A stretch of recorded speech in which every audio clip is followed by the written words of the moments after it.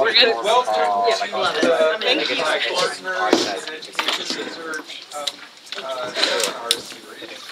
Today we have Judy Scott Clayton um, from uh, Columbia uh, presenting to us. Um, I think there are at least um, there are several reasons to be really interested in and focused on the paper that Judy's going to be presenting today. The first of which is that Judy's a brilliant presenter and it'll be interesting.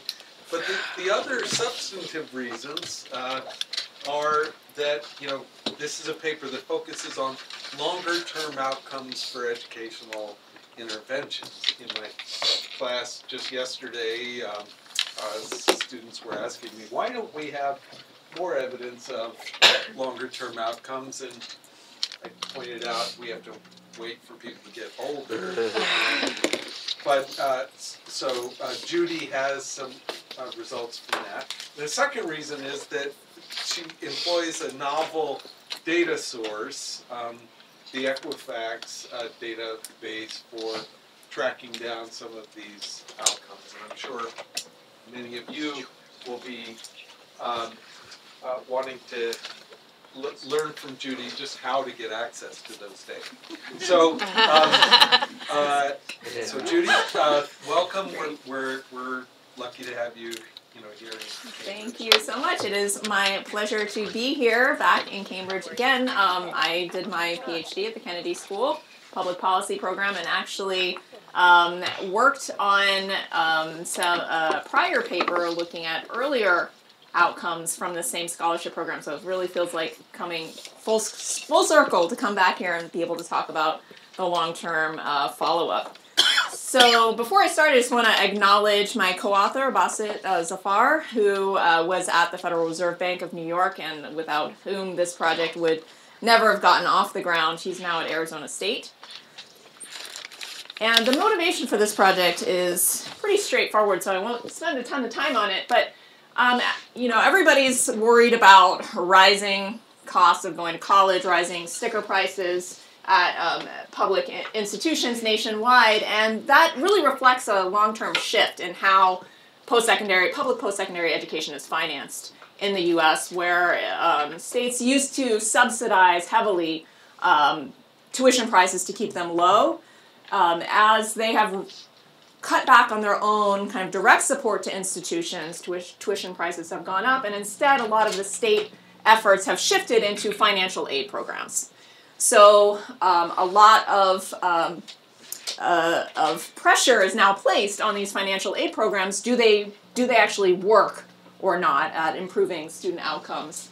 And uh, merit-based programs, in fact, have been um, one of the fastest forms uh, fastest growing forms of state aid. So when I'm talking about merit aid programs, I'm not talking about like the National Merit Scholarship, which only a, a small percentage of students get every year, but broad based programs like the one in the study in West Virginia, where a significant fraction of the high school graduating class might qualify. So in the case of West Virginia, it's about 25% of the class. Um, and you need a, a median, basically above the median score on the ACT or SAT. So a significant fraction of the incoming freshman class qualifies for this merit-based aid. And um, while there's a fair amount of research now, when, when I was just starting out this project, there wasn't nearly so much, um, but now there's much more evidence documenting that programs like this uh, can increase college enrollment and completion.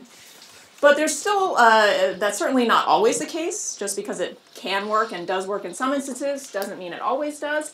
And there's still significant questions about whether the significant costs of these programs justify, um, whether the benefits justify the costs. And that cost benefit calculation, to really make progress on that, we need to have some long term outcomes. Um, but still, there's very little research on um, that follows students beyond college completion out into the labor force to see um, what the long term effects of this scholarship, scholarship programs like this are. So, just to spend a, a couple of minutes filling in on what we already know from prior research on the impacts of state merit aid programs.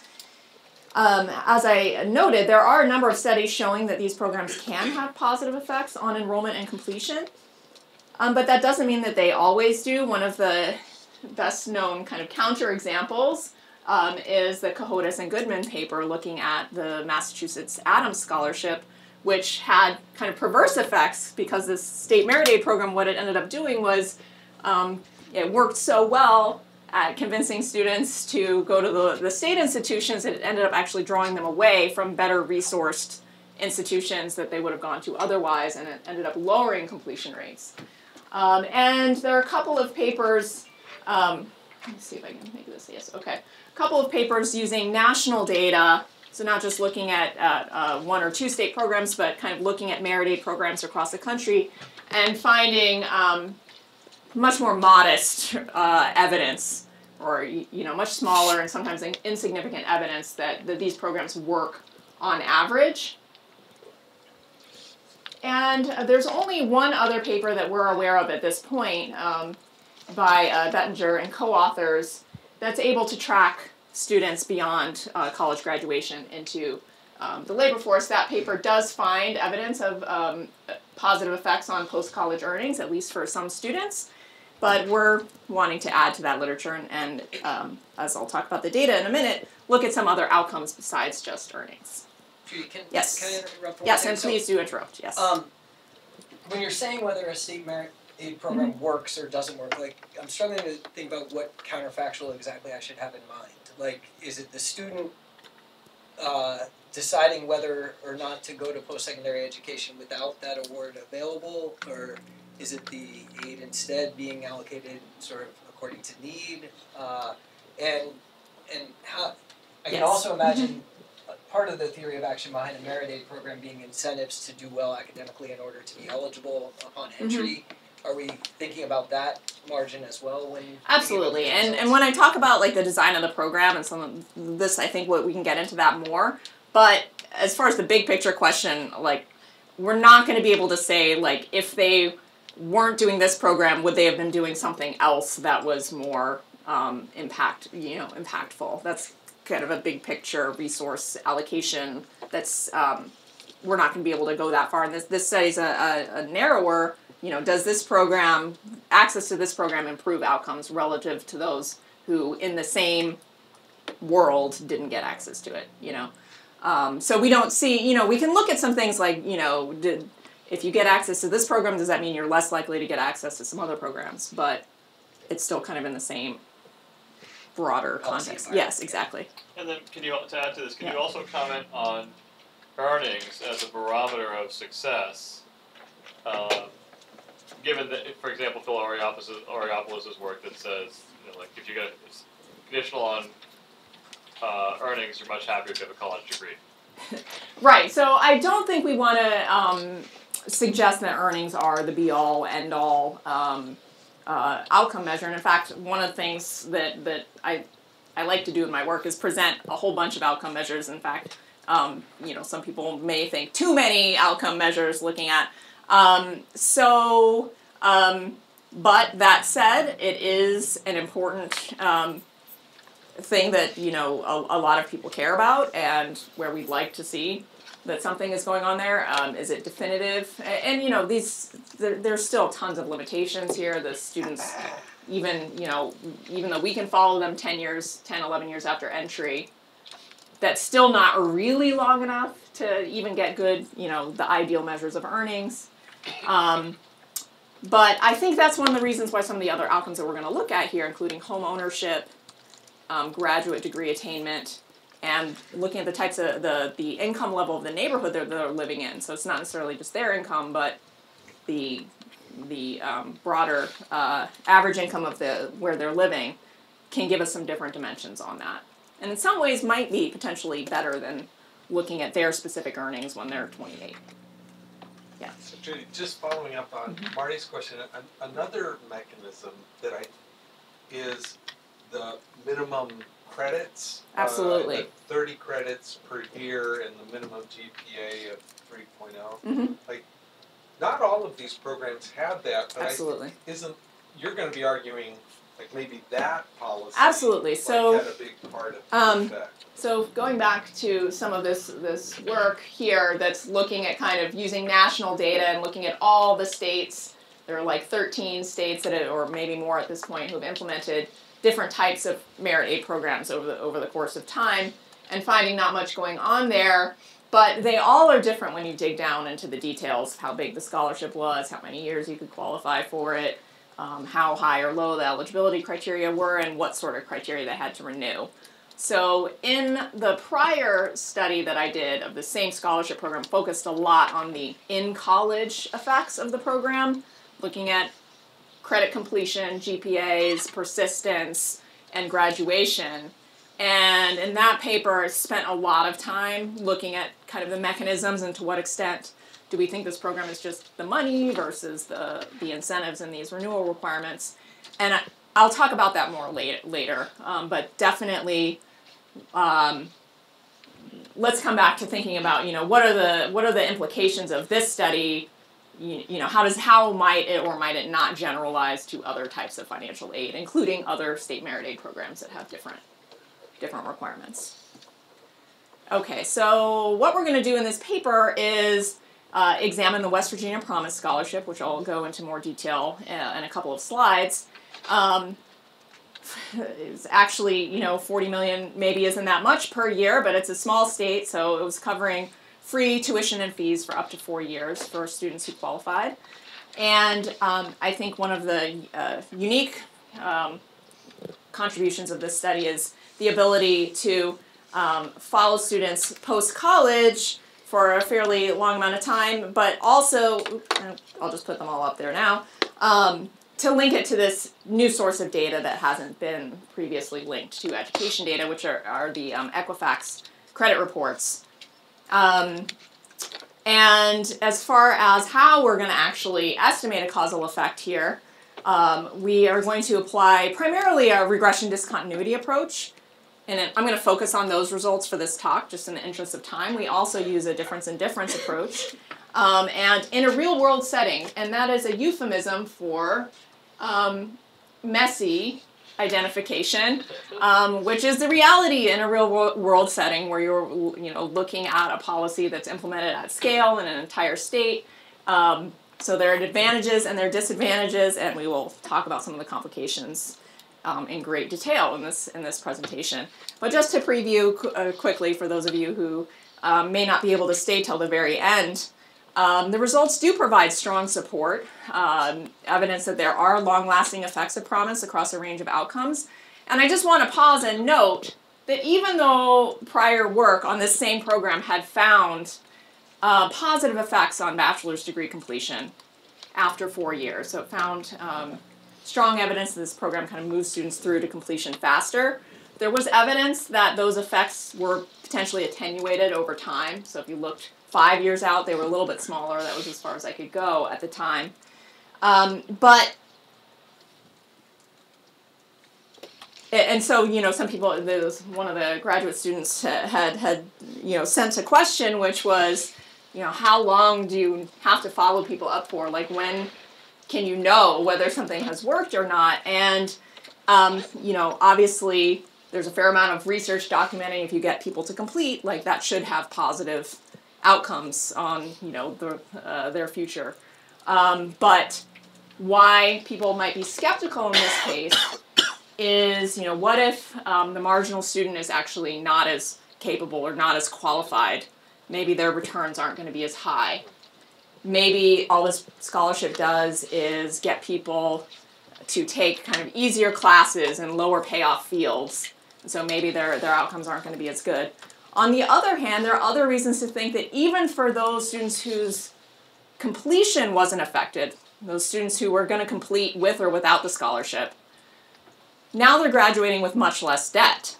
And that might have effects on, uh, on their graduate attainment, on their home ownership, on their, um, their career choices, and things like that, that might show up later but wouldn't show up in college completion. So, those are all reasons why we thought it would be valuable to um, follow these students up longer. Um, so we see positive effects uh, for students who just barely qualified for this scholarship on graduate degree attainment, uh, home, home ownership, and in the average income of where they're living. So they're living in higher income zip codes than students who just missed out. And when we talk about mechanisms, we'll talk about the the suggestive evidence. Not you know totally definitive, but suggestive evidence that it looks like the time to degree is the primary channel. So these students graduated from college faster than their counterparts who didn't qualify for the scholarship, rather than uh, the mechanism being uh, reductions in their undergraduate debt. Okay, so layout of the talk. I will talk more about the program itself and, and the context of West Virginia, which is not uh, the most representative state. Um, I'll talk about the methodology and the sample, the data, um, and then we'll get right into the main results. I have a bunch of other results kind of in the file that we can click into if people are interested. Um, and then I'll talk about some of the work that we did to try to address the, some of the fundamental um, identification challenges in the paper, mechanisms, and then hopefully we'll have time for questions. Okay. So this program, uh, providing real opportunities to maximize in-state student excellence, had uh, it, it came about. Uh, it was implemented for the first time in 2002, and it had um, multiple motivations from the state policy perspective, um, which are all kind of squished into the title there. Um, so part of it was, uh, you know, re- reducing the cost of college. That was a clear uh, motivation for the program. But they also, West Virginia is concerned about brain drain, and a real motivation of the program was to try to retain more of their quote unquote best and brightest students in, in the state instead of sending them out of the state for college. And they also wanted to create incentives for students' um, effort and achievement, both at the high school level as well as once they're in college. So, to qualify initially for the scholarship, you needed to be a West Virginia high school graduate um, within two years of high school graduation.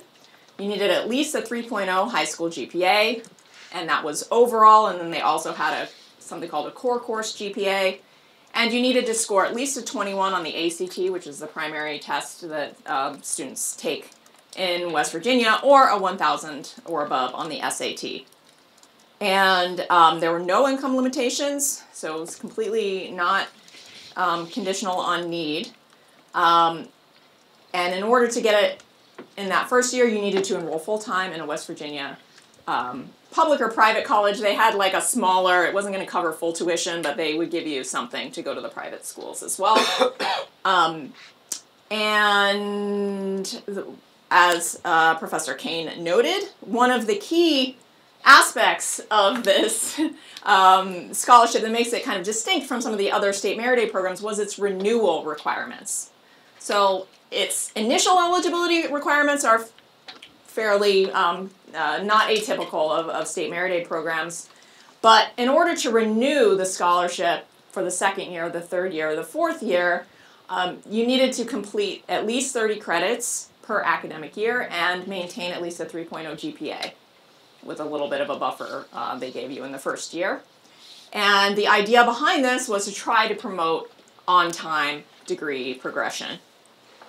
Um, so at the time, only a couple of states had this sort of stringent um, renewal requirements. And as I found in my earlier work, that turns out to be really important for um, promoting on time completion. Just to give you a sense, obviously West Virginia is not the most representative uh, context to look at a study, uh, look at a, a program like this. Um, a couple of key things to keep in mind in terms of the generalizability here are that um, West Virginia University, the flagship public institution, is the highest ranked institution in the state. So it doesn't. There are private institutions, but it's not like Massachusetts, for example.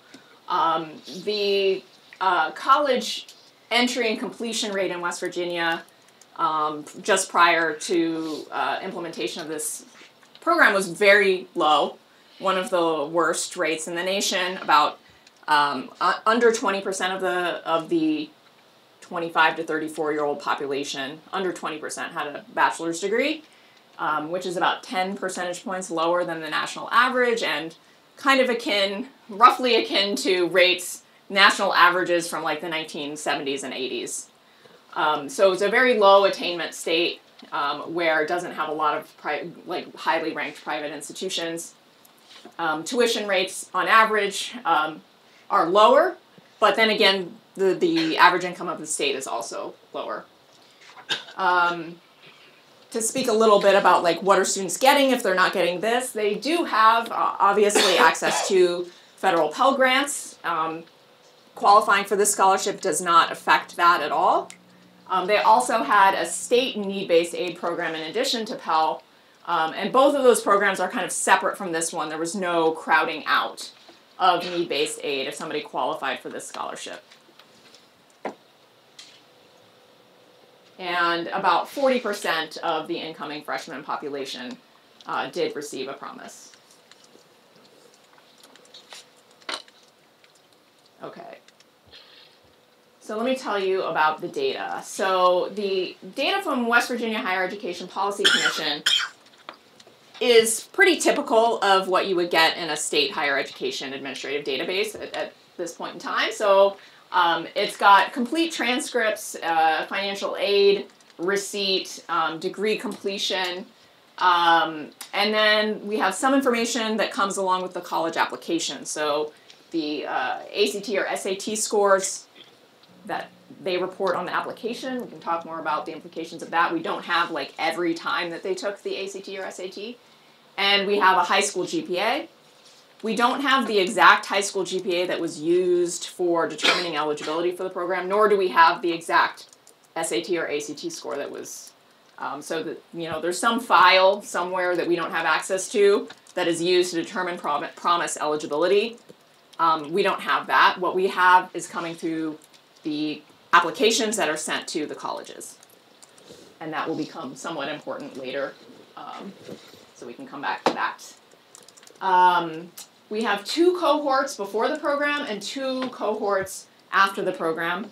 After the second cohort, they started changing the eligibility requirements because um, way more people were getting the scholarship. It was like they probably maybe they didn't like think okay in the second year this program's going to be at least twice as expensive and the third year you know they're adding another cohort and, and so by the third year they were trying to look for ways to constrain um, constrain the costs That, that's Yes. related to the lower educational attainment. by the legislature. um, Sorry. yes Jude, uh, yes. Why did the costs go up? Were like were were students' strategic behavior about like what they were doing in high school? Was that no no i mean part of it is just literally like the Oh, first cohort you only have one cohort. And then the second cohort now you suddenly have two. And then the third year you have three. And then the fourth year you have four. And only then do you kind of get into the more steady state. i'm not saying that but I mean, legislators don't always have the longest time horizon. Right, exactly, exactly. And sometimes even if you can kind of see it coming, it's like until it's really you're feeling that pressure. Right, exactly. This- How was this funded? Was is was it like lotto money or? No, this is not a lottery funded scholarship. Maybe it would have been more robust if it were. Um, So like I don't- yeah, I don't- allocation. I don't have uh, uh, any indication that was like specifically linked to a revenue stream. Um, It's, Yeah. it's state appropriated. Um, okay, so. Okay, um, so uh, you know the the post secondary data is fairly typical what you get uh, from a post secondary administrative data set. Um, we do also have um, in state quarterly earnings records um, that, uh, but just keep in mind that's in state only. And, and as far as the post secondary records, keep in mind those are the public institutions only. So if they transfer to a private institution, if they go out of state, we do not observe that. So only if they stay within the public sector. If they transfer across the public institutions, we can see that. Yep. So you have no data about people who didn't enter college, is that right? That is correct. That is correct. And that is going to become very important. Okay. Yes. Yes. Okay, and then the the kind of cool part of the data are uh, the ability the, uh, to uh, link it to the Equifax credit reports. And at the time when we started the project, the thought was this would be a great opportunity to look at kind of the long-term consequences of, say, this big reduction in student loan debt, and like what effects does that have on credit scores and um, uh, all the things that you would naturally think of with credit data. You know, debt management stuff, delinquencies, defaults, um, mortgage debt, stuff like that. But as we started um, looking at what was available there, we realized that some of these other outcomes you can infer from the credit data are in many ways like even more interesting. Like you can infer did they own a house or not by looking at whether or not they ever held mortgage debt, and the ability to observe the zip code of residence. No matter where they moved in the country, allows you to look both at mobility, which was a, a big um, interest of the state. Uh, they're very you know concerned about whether um, this uh, program made students more likely to leave the state, and um, also um, to get this, we we match the zip code data to information on um, zip code level earnings or zip code level income to get kind of a, a measure of the socioeconomic surroundings of, of where they're living. And that's kind of cool because, you know, um, not everybody who's age 28 is engaged full time in the labor, labor force. Um, and so this gets a way to get some sense of their socioeconomic conditions without a direct, um, necessarily looking directly at their own earnings. Okay, so to give a little intuition for the identification strategy before I go into detail, so this is a graph that's just plotting uh, actual receipts of the promised scholarship, so the proportion receiving the scholarship by ACT score. So this is going to be kind of the first stage in our fuzzy regression discontinuity. And you can see that there's this huge jump right where we're expecting it um, uh, at the ACT score cutoff. Now, why is it not 100% on this side of the threshold? Um, that's primarily due to this core course GPA that we don't observe. Um, so even if somebody has a th- th- this whole um, this whole graph and our analysis is going to be limited to those who pass the GPA threshold, and then we're looking at did you pass the the test score threshold. Um, but even those who pass the overall high school GPA of 3.0 and have a have a, a qualifying test score, some of them didn't meet this core course GPA, so they still didn't get the scholarship. And on this side of the threshold, um, because we have these ACT scores that are reported on the college application, um, our understanding is that it's basically you know what you would report if you were applying to college, so kind of your best score at the time that you applied. They could continue to take the test up through the summer just prior to enrollment and still qualify for the scholarship. So that could um, be the reason why some of those students still qualified. And then so we um, can do similar graphs looking at outcomes. And I have cherry picked here one where the graph looks kind of the clearest. Um, they don't all look like this, but what I will say is, and you can look in the paper, we do have graphs for all the outcomes that we look at. Um, the graphs generally line up with what you get out of the regression estimation. So where you see graphs like this, where it looks like there's a clear discontinuity um, here, um, that shows up in the regression um, coefficients as well. And the graphs where it looks messy and hard to see, in general, then you- you're not getting anything significant in the um, in the regressions either. So this is um, the mean zip code income, um, 10 to 11 years after they entered college. And so we can do the regression discontinuity for the eligible cohorts here in the blue, and then um, also do kind of a falsification test for the cohorts who entered earlier around the same threshold. We're not expecting to see anything going on there. So the RD estimates are based on this discontinuity here. In our difference in difference approach, um, what we're going to do is compare the average difference between uh, students who score above the threshold before and after the scholarship was introduced, and compare that to those um, below the threshold before and after the scholarship was introduced. Um, the reason why we focus on the regression discontinuity, we think it, um, the identifying assumptions are more plausible. We can talk about that more later. Um, the advantage of the difference in difference, if you buy it, which we're not, uh, we, we think it's a little, a little more problematic, but the advantage of it, if you buy it, is it allows you to estimate uh, effects for a wider range of ACT scores. Okay, so I'm not going to talk through the equation because I want to make sure that we can actually get to um, some results and mechanisms. But um, we're using a fuzzy regress- regression discontinuity strategy, accounting for the fact that um, crossing the threshold doesn't 100% determine whether or not you receive the promise. It's about a 70 percentage point um, difference in receipt around the cutoff. I think I just pretty much talked about this. So, what the fuzzy regression discontinuity is going to do is we can estimate a discontinuity in outcomes around the threshold, and essentially it's going to scale that up um, by 1 over 0.71, which is the, the difference in take up around the threshold. Okay, and we have a bunch of controls in here.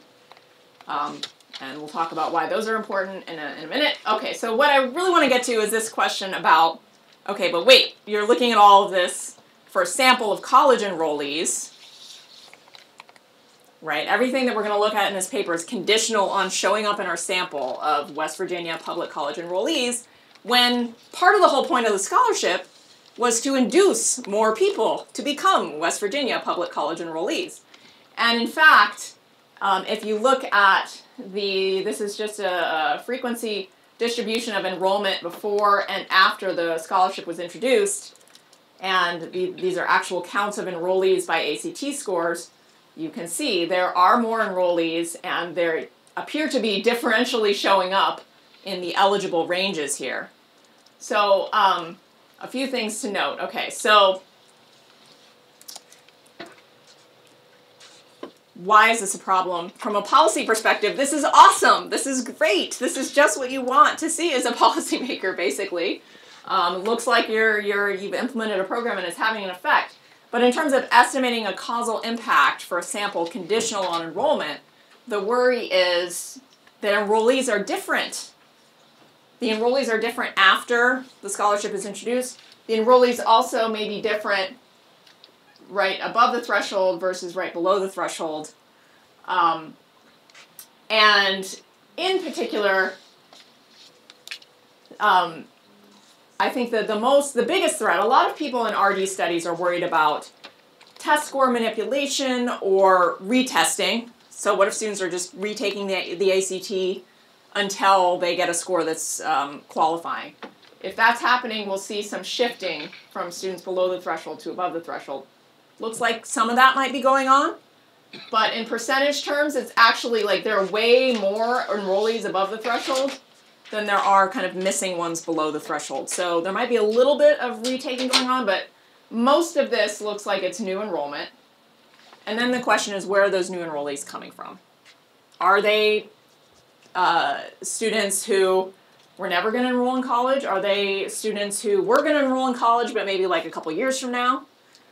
Or, and this is the most problematic for our, our um, identification or, you know, for interpretation of the, our results, the most problematic possibility is what if these are just the super motivated, super high achieving students who prior to the scholarship were going to leave the state and go to Harvard or wherever, go to some out of state institution, and now the scholarship is inducing them to stay in state where they kind of bring up the averages for, for West Virginia but actually no additional human capital has been created. In fact, you know, maybe their outcomes could even be worse than they would have been had they left the state. So it's the out of state uh, hypothesis that, that some of this could be due to students just kind of shifting from out of state to in state that's the most problematic for our uh, interpretation of results. Um, and what we do in the paper to try to deal with this um, directly is to do some bounding analyses, like what percent of students do, do we think could be coming from out of state. Um, luckily, we have other data sources that can speak to that, um, and we can actually quantify. You know, in a typical year, how many students leave West Virginia and attend uh, college out of state, and it, when we do that, we find out that, that still that number it can only account for like 30% of this new enrollment. There just aren't that many students in West Virginia that had been leaving the state prior to the scholarship for that to account for all of this, but it could account for something. Okay.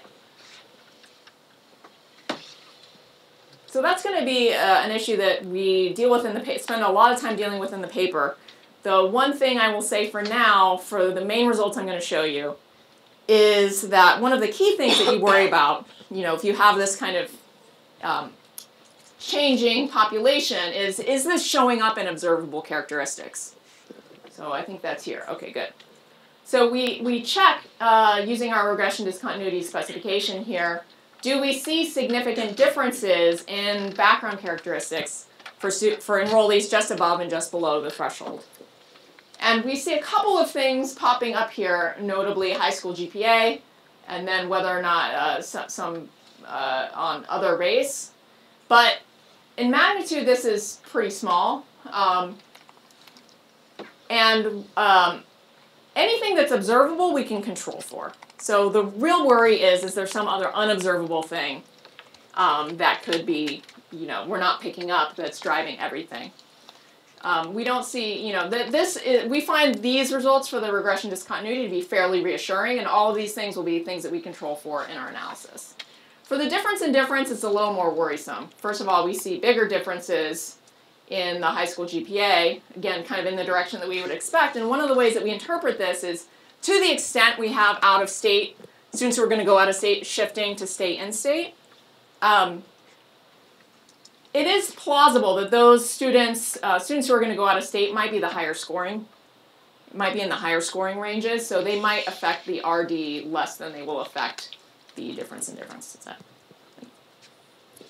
okay? So this is one reason why we kind of are not prioritizing the difference in difference results. They are in the paper, um, and they are broadly consistent with RD, um, but they uh, um, the identifying assumptions are potentially a little more challenging there. Okay, I'm going to start showing some regression tables. Okay, so so what this is going to show, I'm going to show a bunch of numbers with the outcomes kind of going down the side here. Uh, this, these are just the mean outcome levels right around the threshold area where the RD applies to. Uh, these are uh, the regression coefficients and standard errors. Um, and this is for our primary bandwidth, which is basically plus or minus uh, 5 ACT points. And then this is the same specification but omitting all of the covariates. The idea there being that if the identification um, is really just coming from access to the scholarship around the threshold, we, we don't want to see that our results change a lot when we add covariates. As you can see here, things shrink a little bit, but kind of the broad pattern um, very much holds up and is not super sensitive to the inclusion of those control variables. So we see big effects here on the likelihood of earning a bachelor's degree within four years. This is this top line is basically a replication, just confirming that actually the you know still true what I'd found in this prior study. But now we can follow them up much longer, um, and if you trace this out over time, you can see that every year longer that you follow them up, that BA effect kind of gets smaller and smaller. I was actually quite as much as I study higher ed statistics, I was quite um, impressed or surprised at how long that people are still plugging at it. You still see people completing those bachelor's degrees. Of course, you know, five or six years you get most of it, but every year beyond that, it's like another percent, another percent, another percent, adding up. So by the end of 10 years, there's only this kind of very, shadow of a treatment effect there, two percentage points, no longer statistically significant. At the same time, as that effect is fading out, you see other effects fading in. So the likelihood of getting a graduate degree, um, a 40% increase, so from 11 percentage points uh, goes up to 15 percentage points for those who had access to the scholarship. Okay, then we have a bunch of um, earnings related effects here. Um, no difference in the likelihood of being employed year round in West Virginia. That's where we have our earnings data from. And then we do a couple of conditional earnings measures. So, conditional on being employed year round in West Virginia, average earnings. Conditional on living in West Virginia, whether you're working or not, an earnings estimate there.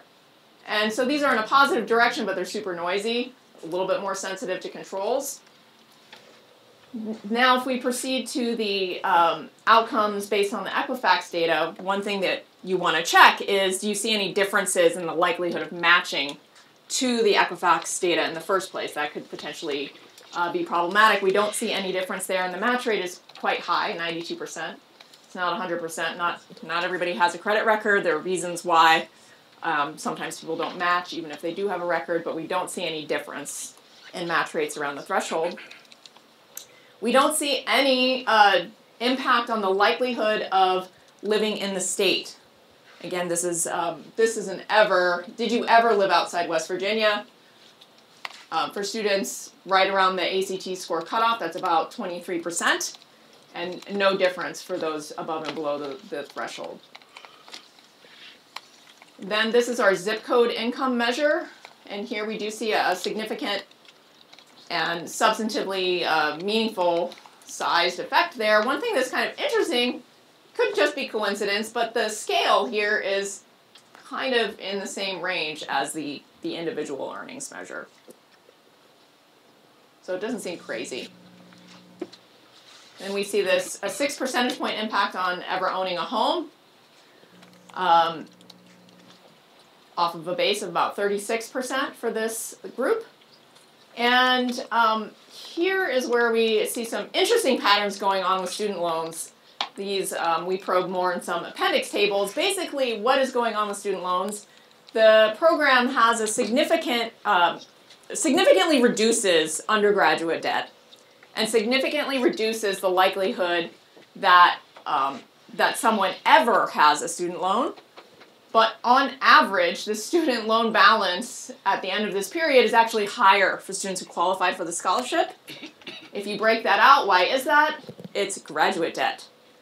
So um, there's kind of this this trade off where um, we weren't necessarily uh, looking for this, but as it turns out, students who qualify for Promise end up with more student loan debt um, 10 years after entry because they basically more than replace um, their undergraduate loans with graduate loans. Yes.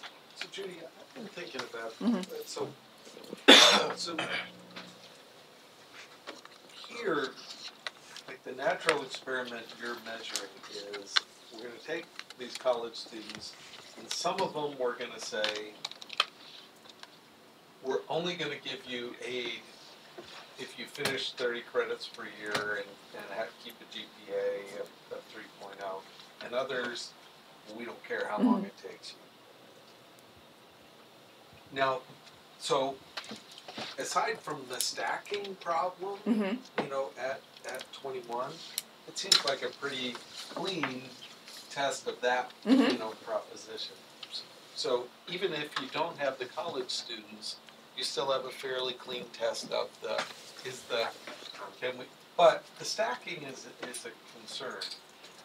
So are there any subsets of students, um, for whom the stacking isn't an issue? Mhm. Like, like, so I was just thinking, who would have been the kids that would have been very unlikely to have been going out of state anyway?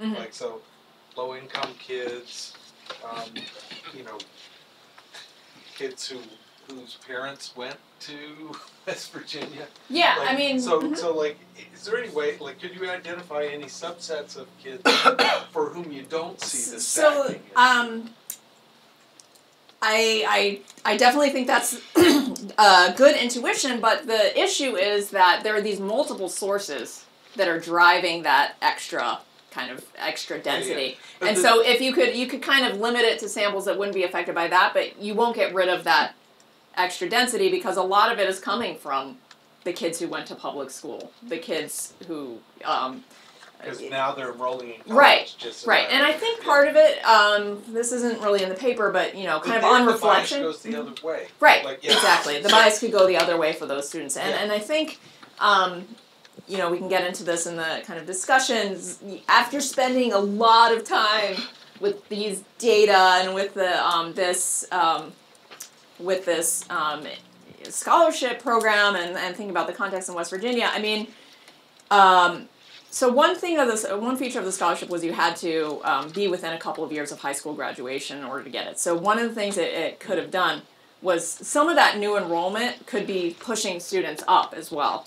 So it's it's not I think it's it's reass- it's it's given me some reason um, to to be uh, to think that those new enrollees that are showing up here or the additional enrollments they really may not be radically different from the students who um, were going to be there anyway. Some of that is you know the students enrolling right away instead of waiting two years, and I think that. Um, the observable observable characteristics kind of reflect that. Like you might see a little bit, but it's like they, there's no evidence that they look radically different um, from the students who are already there.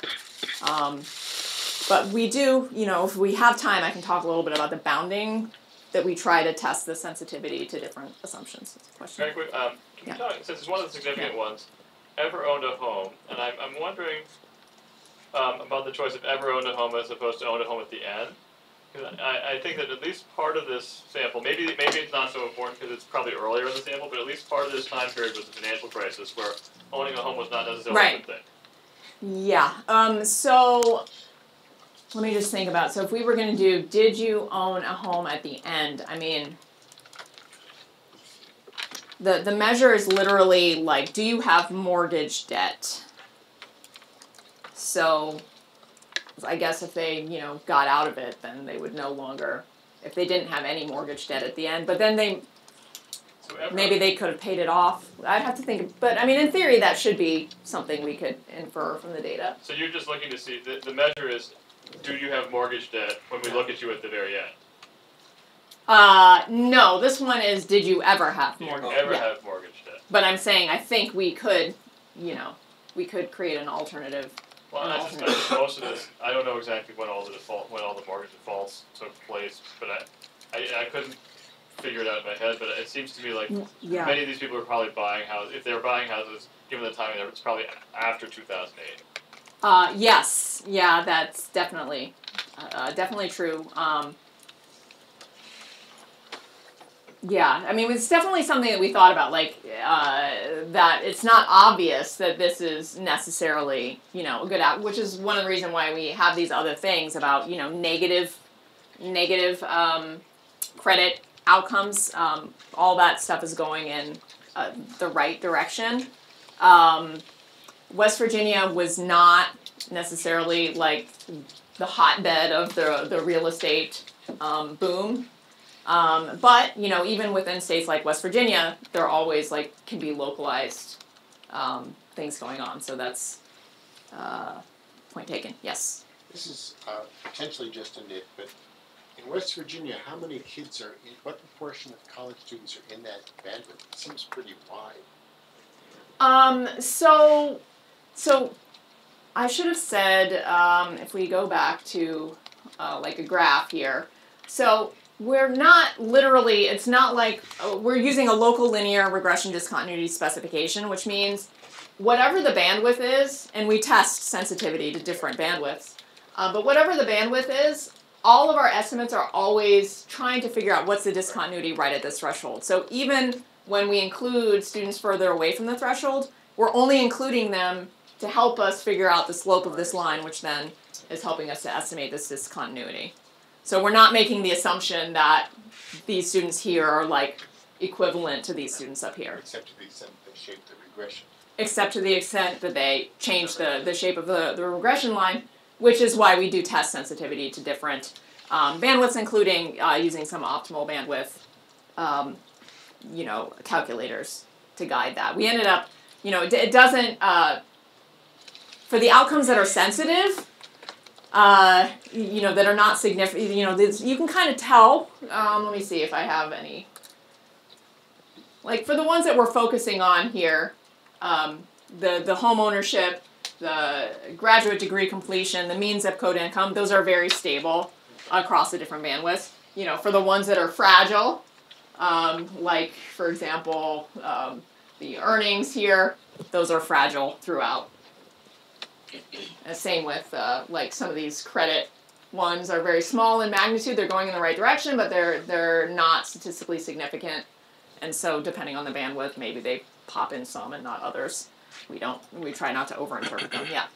Are you able to confirm your student loan story about undergrad loans? Um, looking at student loan debt after five years or something like that Well, we actually know. Um, so for the student loan data, we have um, we have multiple sources. So for this here, we're taking this from Equifax because that's like the broadest measure, and it's telling you like how much they actually um, owe at the end.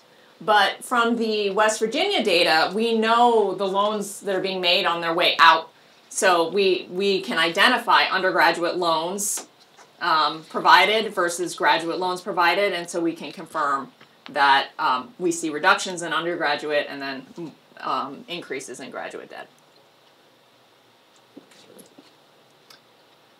Okay, so we also so this is these are the uh, this column is the results you just saw. We can do the same regression discontinuity for the cohorts prior to the entry prior to the implementation of promise, and what we're looking for there is hopefully mostly zeros. Um, we do see uh, one statistically significant effect here that we would not expect. Um, but again, that these uh, were pretty noisy to begin with, so kind of don't want to like totally oversell the earnings impacts. Just to say, you know, they seem like they're in a positive direction. But um, for the rest of the story, most of these coefficients uh, not only are not statistically significant, but are getting much smaller, closer to zero. So that's kind of um, reassuring. Okay, so we do a bunch of robustness checks in the paper, um, which I'm not going to show here because I have 10 minutes. Um, but, you know, alternate bandwidths, not, not a big issue. Um, different ways of calculating standard errors, not a big issue. Um, multiple hypothesis testing, depending on kind of how strict you want to be um, about it. Um, our outcomes uh, here are robust if you control for a false discovery rate of 0.2.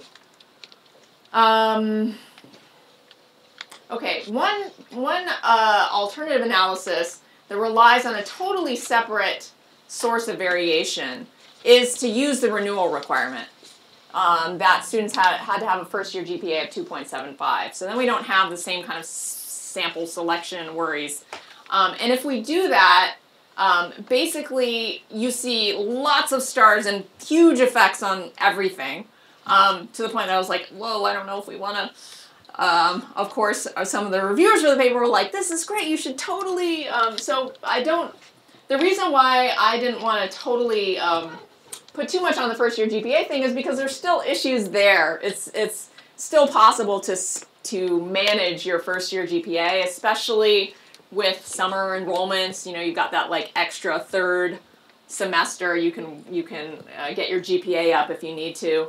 Um, but it is reassuring that this totally separate source of identification shows results all going in the same direction.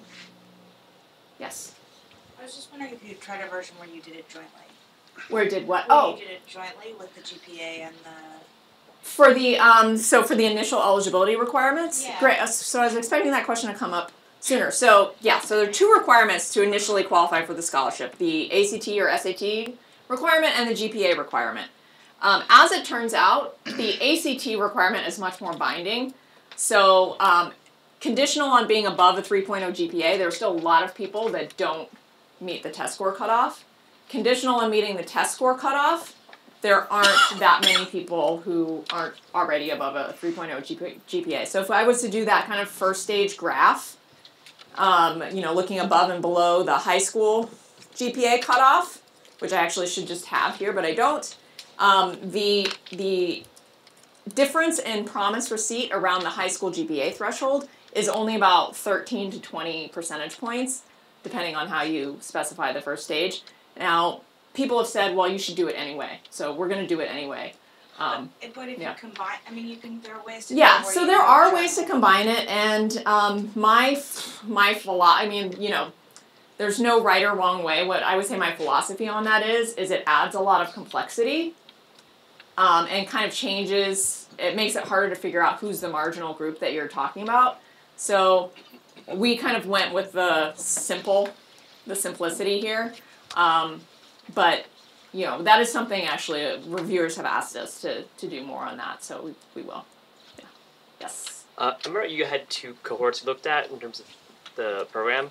Did the results look different for the two, even sort of like the stacking around the scores out of curiosity? You might imagine with the second year of the program Um, you know. I don't have papers, or sorry, I don't have any um, graphs here that break it out by cohort. In the prior paper, where I was focused much more on like the in college outcomes, I did look at it by cohort, and you do see things showing up right away in the first cohort. It didn't look like there was an obvious um, distinction between the first two, but we haven't done that um, for these longer term follow up outcomes. Did the stacking look the same in terms of around like the ACT scores? Um, Just my it before. recollection was yes, but I would have to go back and double check. Yes. So I'm curious for the earnings outcomes that you sh- that you showed. Do you think those are essentially downward bias because there's a bunch of students still in grad school who aren't really earning what ultimately they will be, or one of the things you mentioned previously is maybe this is changing the types of majors that students Yeah. are going into, what they're studying, and did you find any sort of evidence of that? So I didn't. We didn't see. Uh, let me get to the mechanisms um, to speak to some of those questions. But just as far as like how to interpret the earnings, I do think it is still a little early to be looking at earnings. In some ways, that's why kind I I kind of like this zip code measure of earnings. Um, as being a, maybe a little bit broader measure, maybe a little bit more durable or meaningful measure of the socioeconomic. Sorry? It might incorporate expected. Right, it might incorporate kind of yeah expected gains over the long term as opposed to the kind of what you happen to be doing right now at this point in your life. Um, the employed year round is trying to you know rule out, um, uh, and I think I have to go back and yeah I think that's just you know did you have earnings in all four quarters? I can't remember if we put any minimum earnings on there that would make it kind of more comparable to full time. But we're trying to screen out, you know, people who are not in the labor market at all, at least. Yes. Um, did you have zip code data for students when they were actually applying at the very beginning? Um, what we have is high, high school county. Okay, so it's a little coarser then. But I was Yeah. gonna say it could be really interesting. Yeah, and we do include high school county fixed effects as we don't have family income, so we don't have we can't control for so that you know in our covariates that's one of the ones that we would like to be able to control for. Um, but we do have high school county fixed effects as a way to try to you know soak up if it's you know that the more advantaged counties are more represented in the scholarship group. Can, can you do the Equifax on the parents?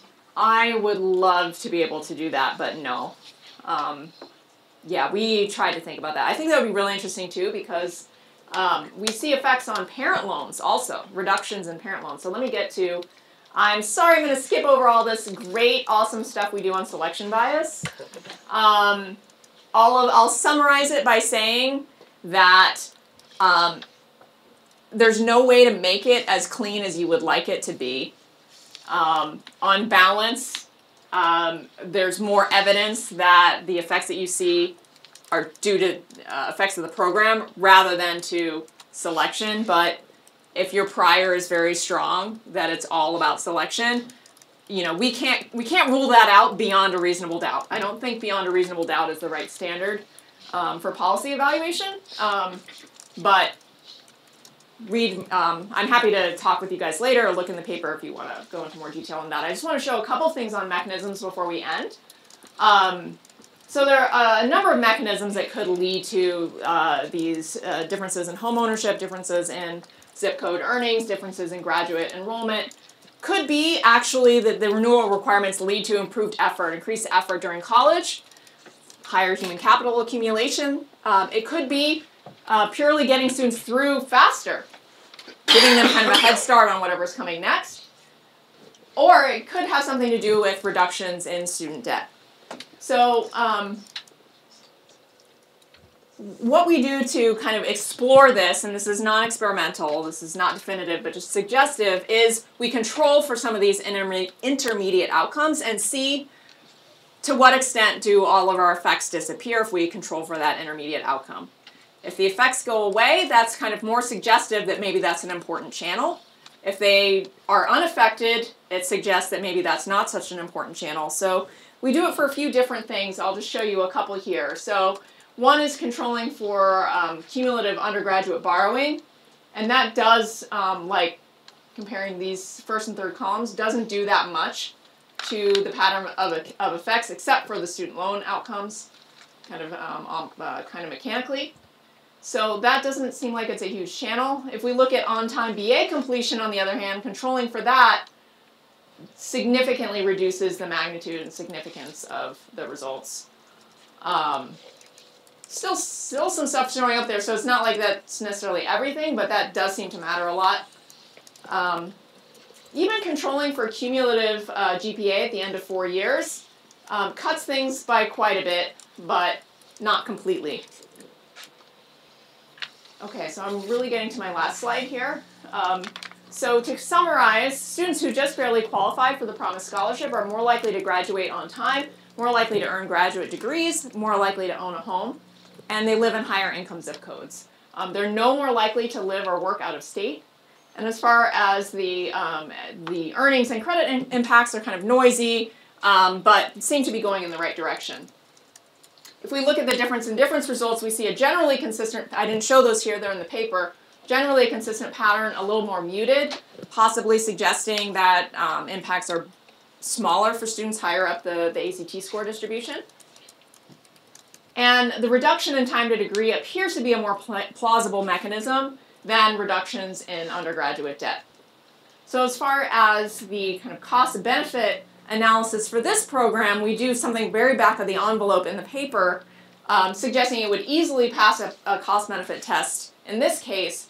But as uh, as many of you have pointed out, um, the the details of this program are different than merit aid programs in other states, different than need based programs um, at the state and federal level, and so it's not totally clear how generalizable the results here would be to other forms of financial aid. And that's all I have. Um, so I'm like two minutes over, but I'm happy to answer any questions that you guys have. We can take a minute or two for questions. Okay. People have questions, additional questions. Do you see anything about um, marital status in the Oh, data? I yeah. So actually, that came up. Um, so when we initially matched, we included last name as one of our match characteristics, and um, we got much better match rates for the men than for the women. And we realized, oh, probably we shouldn't do that. And then, um, then we thought, oh, maybe we construct a marital status thing. Um, you can try to infer something. Uh, we didn't see anything going on on that, and you know, uh, people weren't totally sure how to interpret that measure. But in theory, it was kind of inferred. It wasn't direct. But I mean, even if you don't see a difference in the rate at which people marry, you'd think there might be a difference in who they're marrying. Oh yeah, yeah. knowledge. Unfortunately, that we can't observe again unless it's showing up in the zip code income. Yeah. I have two related, hopefully quick questions.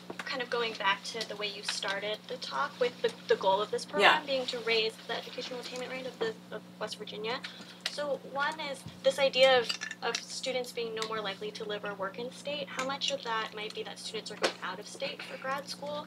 And then also this idea of cost benefit is the cost benefit thinking about at the individual level, like the the private returns to education, or have you looked at all in terms of kind of state tax rules and So I'll do the second one first, which is just super back of the envelope based on the, the individual returns. We didn't try to do anything fancy with um, social returns. Um, with the first one, um, I'm not totally sure. So the, the, the where they're living, um, we can see that if they go out of state. So um, I'm not totally sure how that connects to the graduate school.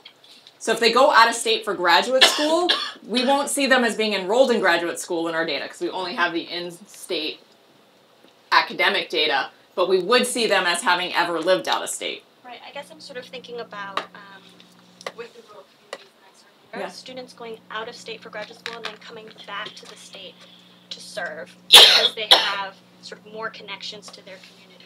So that could that could be happening here, and it wouldn't show up in anything other than I I mean that that that could be something that just is going on, and we we don't really have a great way. Never lived out of state. Well, if they ever li- yes, um, yeah, with the, yeah. The end, did they come back? Right. So the ever lived out of state is ever. So if they go out and they come back, we would see that. So there doesn't look like there's any increase in that, but we could. I mean, we could be missing some graduate school enrollment. Is there any way to infer out-of-state graduate school enrollment from the Equifax loans? Like a loan that happens after achieving a BA, for example, a student loan that happens after achieving There, a we probably could. Yeah, we probably could. Would that ever lived out of state help you resolve some this question that we were talking about earlier with people returning? So if, if ever lived out of state includes while I was a student, you know, if you saw, you know, any difference in these two cohorts in, you know, in the pre versus post cohorts in the ever out of state at the threshold? I'll have to think about that. I mean, I definitely think that if your if your prior if your worry is that this is all being driven by students who are going to go out of state now, um, just deciding to do their undergrad in state, I think you're right that we would have expected to see um, that the scholarship recipients are more likely to leave the state because like if those are the mar- if the marginal student is this like cross state mobile, um, I, I, well, I, I was yeah. just thinking pre versus post, like before the e- experiment, you know. But I guess the problem is we can't observe the ones we only have matched the ones who ever enrolled in West Virginia. You know, so we don't the ones who go out of state in the very first place we never see. But Yeah.